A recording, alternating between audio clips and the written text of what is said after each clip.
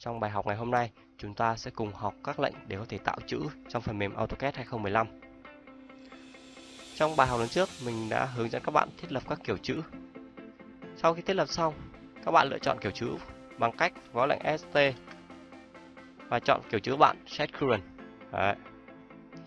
Sau đấy các bạn để tạo chữ, các bạn có thể vào Annotate và các bạn thấy chúng ta có hai kiểu tạo chữ. Một là Multiline Text, hai là Single Text. Đầu tiên mình sẽ giới thiệu về lệnh Single Text. Đấy. Thì bạn có thể kích vào đây hoặc gõ lệnh TE XT. Đấy, đây.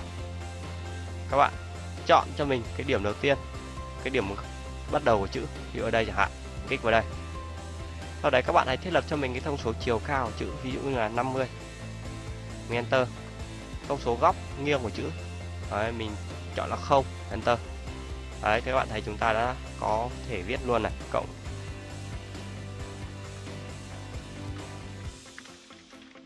Hội trợ, Đấy, thì chúng ta có thể tạo text như này. Và có một điểm lưu ý với các bạn rằng nhiều khi các bạn sử dụng thiết lập các bộ chữ vntime.shx ấy, thì các bạn viết nó bị lỗi font. Lý do là các bạn phải vào Inokey. Đấy, các bạn chọn cho mình cái bộ gõ chữ là bộ TCVN. Bởi vì các cái bộ font chữ trong két mà có đuôi là VN ấy thì các bạn phải cần cái thiết lập bộ gõ này thì mới gõ được. Ví dụ mình dùng Unicode nhá. và bây giờ mình gõ này. Học này. Các bạn thấy chưa? Nó sẽ bị lỗi ngay. Đấy, thì lưu ý các bạn rằng chúng ta cần phải bộ gõ chọn cái bộ gõ là TCVN. Đấy, mình sẽ gõ lại. Đấy. Viết xong một chữ mình kích vào đây này. Đấy, lại viết tiếp.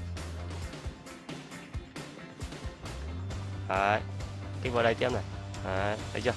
Các bạn thấy chưa? Chúng ta đã có thể viết được hàng loạt các cái dòng chữ đơn lẻ trong AutoCAD. Đấy, thì đấy là lệnh single text. Tiếp theo chúng ta có thể viết text theo các đoạn văn bản đấy, như là trong Word, đấy, Office Word. Các bạn có thể kích vào đây. Đấy, hoặc là gõ lệnh là m text tức là multi line text enter. Thì chúng ta sẽ có này. Đầu tiên các bạn hãy lựa chọn cho mình cái vị trí. Đấy, quét như này. Đấy. Xong này. Thì các bạn thấy là chúng ta có cái hộp thoại như sau. Đầu tiên là kiểu chữ này, style chữ này. Đấy. Kích thước này, và các bạn có thể điều chỉnh cho mình cái font chữ cho nó chuẩn vì hôm trước mình chọn là vntime h.shx tuy nhiên ở đây thì nó đã bị lỗi két thỉnh thoảng nó cũng bị lỗi vậy thì các bạn điều chọn lại cho mình Đấy. hoặc đôi khi trong quá trình vẽ thì nó cũng giống như Microsoft Word ấy, Word Office ấy thì nó cũng sẽ bị lỗi font và các bạn thường xuyên có thể bị lỗi thì các bạn hãy điều chỉnh ở đây đúng cái font chữ Đấy. các bạn có thể điều chỉnh layer này màu sắc này Đấy. cũng là điều chỉnh cái vị trí này thì ví dụ mình sẽ viết này cộng hòa này enter này xã hội này enter này, Việt Nam bạn thấy không Đấy, nó cũng không khác gì là Word cả tiếp theo các bạn có thể điều chỉnh như là các chế độ như là gạch chân này Đấy, gạch trên đầu này in đậm này. Đấy, hoặc là các chế độ như là gióng này. Đấy, các thấy chưa? Đấy. hoặc là chế độ ví dụ là đây chế độ bullet này. Đấy, chấm đầu dòng này. Hoặc chế độ đánh số này. Đấy, number này. Đấy, thì đấy là các chế độ nó cũng không khác gì là Microsoft Office Word đâu. Đấy. tiếp theo là mục line spacing ví dụ như là cái khoảng cách giữa các dòng này tăng nó lên này đấy. Hoặc là các chế độ như column này thêm cột này. Đấy. Ngoài ra thì các bạn cũng có các chế độ như là chèn các ký hiệu này đặc biệt này. Đấy, ký hiệu độ này. Đấy hoặc là kích vào đây chọn A giờ này. Đấy có rất là nhiều ký hiệu cho chúng ta lựa chọn đây. Và các bạn chọn select này copy này. Đấy, và đưa vào thôi. Đấy. đấy hoặc các bạn cũng thể sử dụng các chế độ như là kiểm tra lỗi chính tả này kích bỏ chọn đi này nó không còn cái, cái gạch chân nữa này các bạn thấy chưa? Đấy. Hoặc chế độ pin này tìm kiếm này ví dụ tìm chữ, chữ Việt nhé mình pin next này.